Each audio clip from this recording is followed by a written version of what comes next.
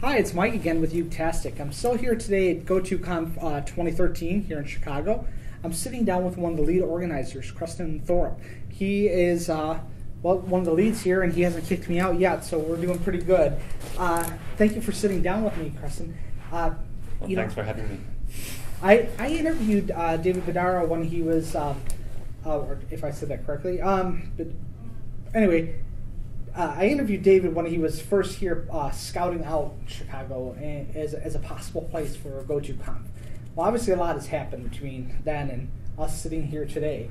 Uh, you know, can you tell me a little bit about maybe some of the backstory about how the decision was to finally come here to Chicago? How did you make that decision?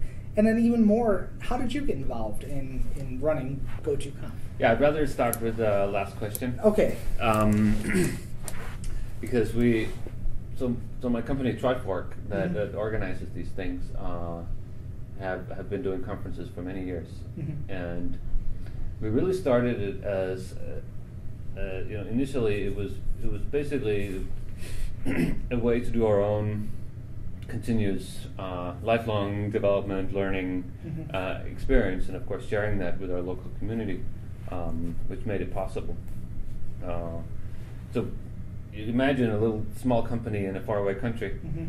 uh, that doesn't really that can't really afford to send our employees to some fancy conference abroad and actually back then there wasn't really that many good conference there was I mean this kind of kind of industry practitioners conference there weren't that many it was mostly either either very academic conferences or or these trade showy things which were very like marketing Yeah, here's how right. you use our product. It's So- very expensive. so 15 years ago, there, there were really no conferences in this in this middle Mhm. uh, in this middle space, um, and that's what really the conference we wanted to, to go to Mhm. ourselves. Um, and then add to that, we didn't want to put all our employees on an airplane and fly them to Right. the U.S. or some other place where there was a conference like this. So we so we figured we better make our own conference. Right. Um, Was that called GoTo or was it a different conference? well, the very first year it was called Scandinavian Java Technology Conference or something obscure like that. And then pretty quickly we um, transitioned into calling it JAOO, J A O O. Okay.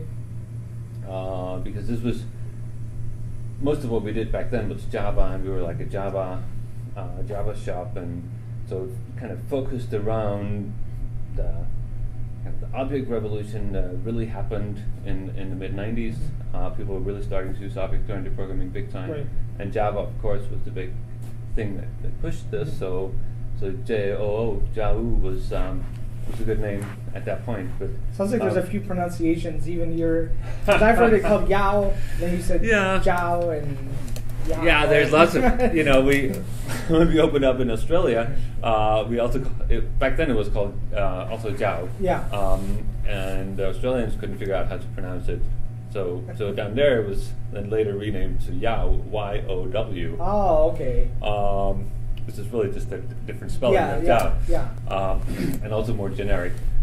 Uh, and about the same time, we decided uh, to go with the the name GoTo Mhm. as as a more generic. Uh, Well, it, and it also has a nice uh, play on Go to Chicago. Go you know, to go to wherever. yeah. wherever. Yeah. And it and it makes me the go-to guy. Yeah. Oh, you are the go-to. Yeah. Oh. or whatever. Yeah. No. So, um, so what I find really uh, conferences is it's a great way to meet people. Mhm. You know, um, organizing conferences uh, is fun. It's a great way to meet people in a in a positive uh, vibe. right. Uh, both uh, customers, uh, business partners, uh, um, because you meet in this kind of learning environment where where things are new and exciting, Right. uh, and Seeing things you don't necessarily work on. Exactly, you see things you don't necessarily work on. It's um, it's it's a good way to kind of broaden your scope and be on be on top of things, right? So. Um, so in, in, in many ways, it's uh, there's so many positive things about it. It keeps I mean, being the organizer, of course, uh, we we put a lot of effort into figuring out what is uh, the what are new trends, what are interesting trends. Mhm. It, it provides an excellent way to meet new people, uh, and, and of course, it's a challenge to continue to to be to be on top somehow, Right. right? So that's the the big challenge in in driving conferences like this is to, you know, we always have to be like a couple of years ahead of everybody Right. else. How to stay ahead of the pack in terms of what's what's news and what what's happening, and of course you can't do that yourself. Right. Uh, so um, so it's a matter of figuring out how to how to make other people help you figure out what, what is the next big thing or what's what, what's going on. Well, it sounds like there's a challenge because one of the things I noticed that's unique is you invite speakers. Other conferences will do open calls for speakers.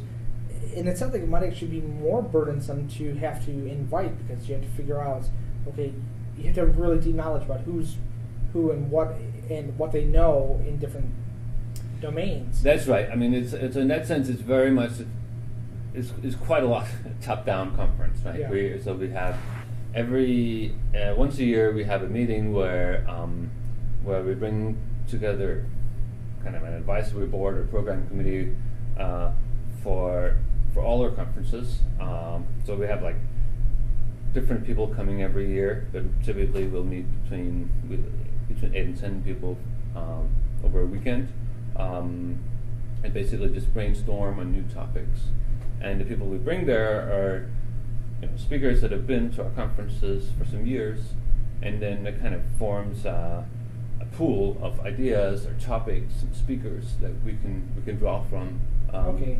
over the next year. So you, you lean on a lot of you built a conference and then you start to build up a network and then you start to tap that own network to find out okay what are you guys interested in, and let's Exactly. curate a, a nice list of speakers and topics. Yes. So, um, so of course, that's uh, you have to kind of renew that. You have to uh, figure out a way to, you know, not always invite the same people to organize that without offending the ones that don't get to go. Right. Uh, and um, at the same time, keep some continuity so that you know there's this kind of shared understanding of the level Mhm. of the, the angles we want to push, and we and we tend to, you know, really like uh, uh, like deep technical things, uh, things that have uh, like historical root and value. We often bring in like um, old guys that invented stuff many years ago, Right.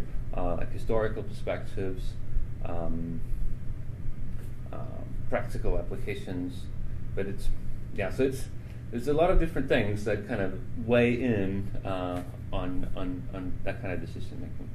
Um, so, but yeah, it's uh, it's you know it's it's it's surprisingly challenging to to to keep pushing the envelope, right? Mhm. Uh, and to keep finding uh, finding interesting stuff. But of course, it's it's a lot of fun to be in the middle of the, a game like that. Also, And also, I, I think it's funny when you mentioned that you wanted to have a conference that satisfied what you wanted from a conference. You didn't want to have to ship people off overseas to be able to attend a conference.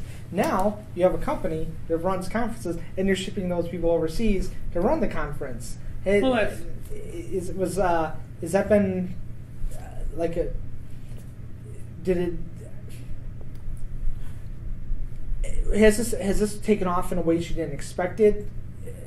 I mean, well, there's a couple of things about running conferences. One is, um, you know, the, the the the really good speakers.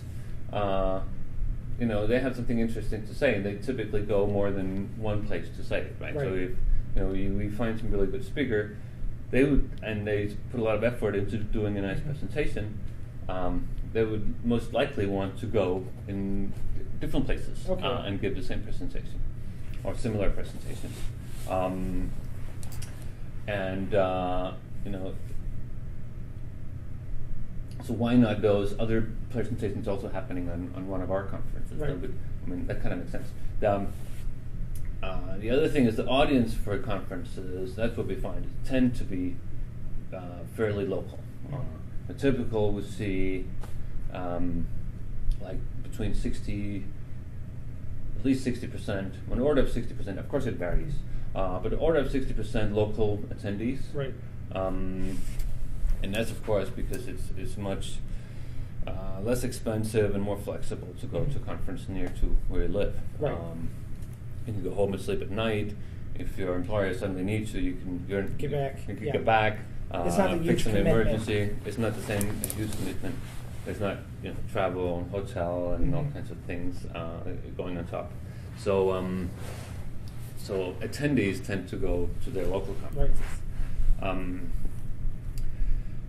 so uh, so that was then, then there's also this kind of an economy of scale in uh, in running more than one conference because it, uh, to turn it into a professional organization Mhm. you need you need work to do around the year Right. if you only only run one event Mhm. uh, a year maybe that's um, that's not enough work for for somebody to do all year or uh, at least not you know because when you actually run the conference you need I don't know five people to run a conference Okay. uh, uh, to organize it and like like here I think we're in, we're in that order of magnitude people Mhm. um, but you can't keep five people busy for an entire Right. year to, to do conference so you so it makes sense to have more conferences So you have kind of have a professional team that does that well You have a core team that goes and runs all the conferences across. That- the, yes Okay, and uh, so so you have what a central office somewhere, and they work from there, and then they just travel around as conferences occur, or how do, how does that planning happen? How did how do you? Well, we have well, we have a number of offices, um, and typically, you know, we have people working in, in, in different offices that are that are part of it too. So we have um, uh, there's people in the, in in the Aarhus, Denmark office, Okay. uh, London, Amsterdam, Zurich, uh, and and San Francisco that are Okay. kind of part of the conference team, and um, and Poland also, uh, and they, you know, travel to. They all they don't all go to all the conferences, Okay. but because there's so many going on. If you, you see our list, there's uh, Yeah, you're all over the globe. We're all over the globe. We have I don't know order of ten large conferences like this a Mhm. year, and then um, and many like one day events of various Okay. kinds. We also have the like, help- nights. yeah, yeah. There, there's lots of, of like tech nights, go-to nights, Mhm. uh, but there's also one-day one-day conferences on specific topics, kind of similar to a track at one of our conferences. Oh, that we okay. just like one-day conferences. In, in Europe, we're doing these NoSQL days, which is just a single day with like various NoSQL Yeah, topics single single track, smaller conference. Smaller conferences, and we also um, use the organization to run conferences for other companies. Like we're uh, we've been doing uh, we've been doing some of the Spring Source conferences, uh, Okay. the Neo Neo J um, New Technologies conferences. Um, oh, so you work with some specific technology vendors to, to help run their conferences. So you you have, uh, and this is more of a question, even though it sounds like a statement. You so you have uh, GoToConf, but also Trifork does some basically conference organization Yes, as a, like a as a business. as a business. Okay. Yeah. So we also do that, and then and then there's a number of different brands which really they, they different really reflect different partnerships that we're doing. Uh, so we also uh, part of the QCon conferences Okay. uh, that we're doing with uh, Uh, so that's kind of partnership with them. Mhm. Uh, we're involved with um, Dave Thomas's Australian conferences. Right. Um, so there's a number of different things going on. So that, that really means that we can keep a professional organization from running conferences. Um, you know, So you have things just going on all the time with conferences. This isn't, you know, that a lot of times when we look at a conference, we're thinking, oh, it's just a once a year thing. But really, when there's a company like yours behind it, that's coming that's just running. You're, you're more like an events company than you know just. Well, but it's and yeah, well, conferences is um is a lesser part of our business, Right. You know, and and, and you know, what I think part of what makes our conferences unique, uh, I think, is that um, is that we're really a software company, and and we, you know, the what drives us uh, to the topics and and to the content in general is what we would like to see as as a software company. Okay. Um, so my my day job is uh, as a CTO in the software shop. Oh, we okay. Have 300, we have 300 people, uh, and there's there's maybe out of those 300, there's 10, 15 doing conference organization. Okay. Um, that was what I was. Uh, one of the things I was going to ask is when you first started saying, "Oh, I want to launch this conference to satisfy own vision of what a conference should be," did this eventually replace your previous business focus? But it sounds like it, it hasn't. No, no. This is a venture that you're on, not. This hasn't replaced the, the original business. No, it's a, it's, a, it's, a, it's a great way, being a software company, to continuously renew our no- knowledge. And it, mean, really means that we can, we can, as a software business, we can continue to be Mhm. on top of things and do the newest things. Um, we're just like we were early with Java, and but that was this kind of predated uh, the conference. We've you know, a number of times been uh, you know been fortunate because of this to be part of new things happening.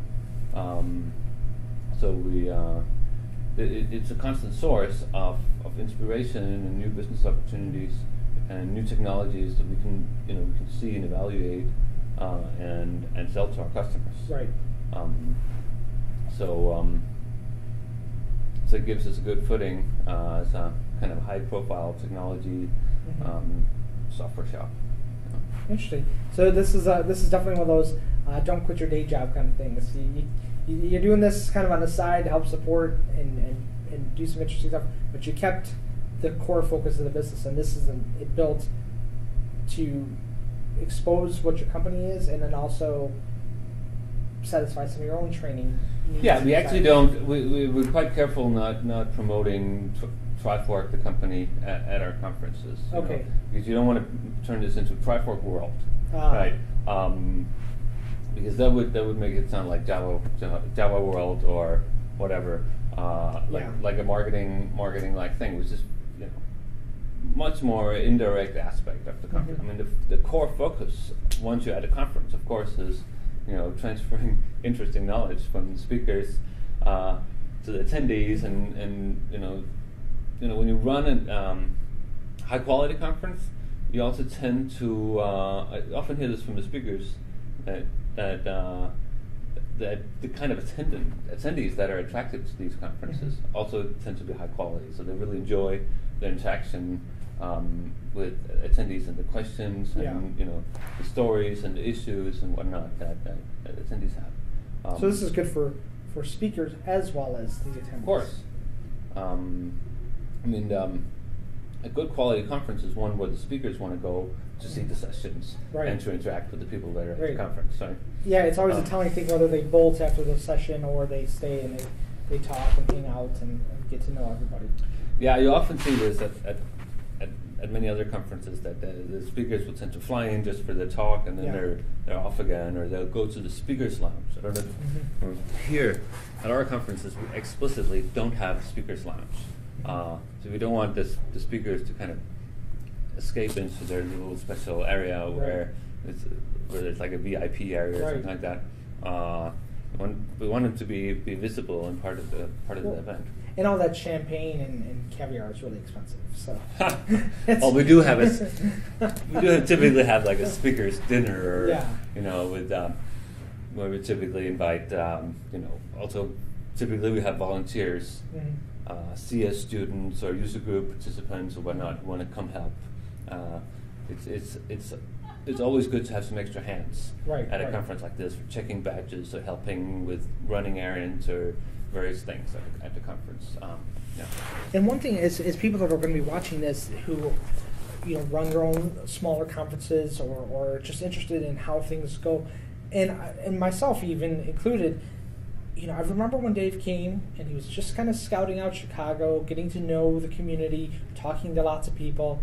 Um, but I am curious of some of the decision, not not just for Chicago, but what is what is some of the how do you decide on and evaluate a, uh, a location, uh, and then make a final decision that yeah, that's a place we want to try to be hosting a conference at,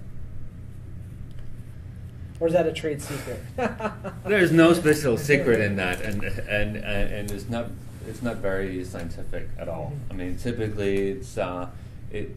I mean, we, we get requests to run our conferences everywhere, um, uh, so typically it's uh, it's a matter of like personal relationships. Uh, typically, we know people in that area Uh, we um, or we like the area. We, we want to go there ourselves. Right. Uh, so there's all kinds of subjective matters also. But of course, a strong um, user group group community. One of the things is we we're not we're not actually very good at marketing these things. Right. Um, and and like regular marketing is very expensive. So we tend to run the marketing by, you know, kind of lean, very lean means, Right. and um, and indirectly via user groups and running our go-to nights and, Mhm. and these kind of community-like efforts. Um, so having something like strong user, local user groups to to uh, to help us um, uh, bring up the message is, Mhm. is really valuable. Uh, so that's definitely important when when selecting a location, whether we we think that um, there's somebody there that can help us Mhm. bring out the message and get um, kind of uh, get the message to the potential attendees.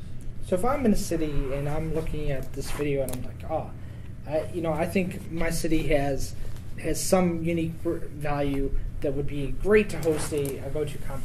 How how could somebody go about getting in contact with with somebody from from the go-to conf and talking with them and figuring those things out?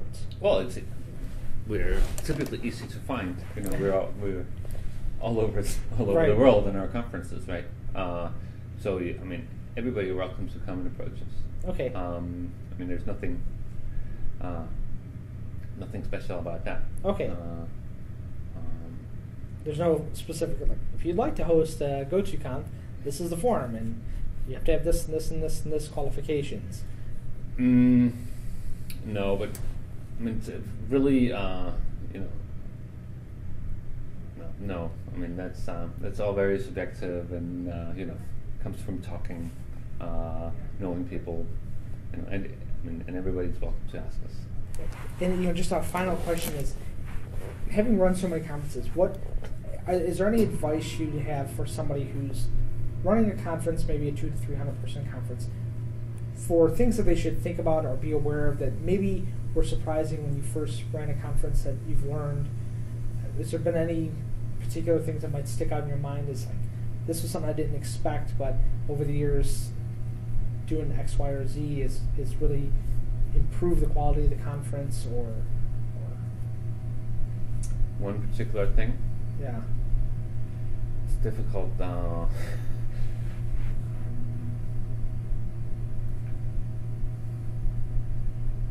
think. Uh,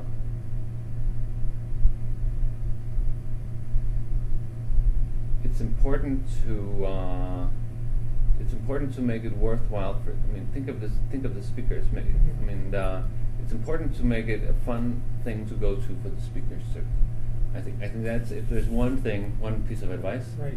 is of course it's important uh, and the conference is not run for the speakers Right, right. but but but that the, the speakers want to come there and, and enjoy being there. Uh, do something for the speakers um, and think about that. Uh, So- I think that's impo- that's important because that's like the seed. That, that's like the, the core that drives all the other good effects. Okay. Um, So if you take care of your speakers, you're usually going to be having a higher quality conference and bringing speakers back year after year. Exactly. It's like you, you want to be in the positive rumor mill of this, kind of the Yeah. speak. The the speakers tend to know each other, Right, Uh, right. You know, across conferences. So you want to have you know a good rumor going that ooh that's the conference you Yeah, want that's to the go one to. to go yeah, to. yeah. All right. Well, thank you very much for taking the time to sit down, Kresten. Oh, you're welcome. Appreciate it, and I appreciate you letting me do the interviews here too. You're welcome. Thanks.